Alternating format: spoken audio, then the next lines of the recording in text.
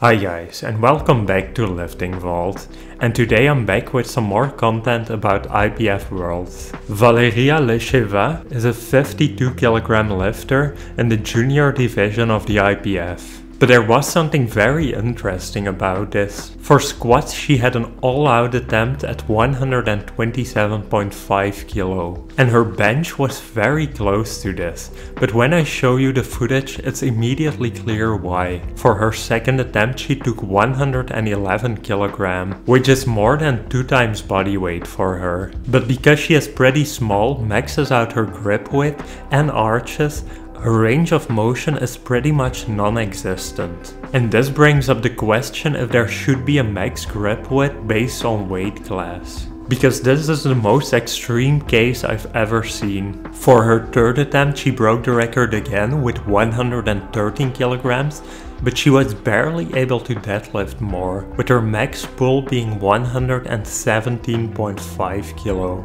Thanks for watching everyone, that was it for the video and let us know what you think of this. If you enjoy watching this channel, don't forget to like and subscribe and check out one of the suggested videos displayed on the screen right now.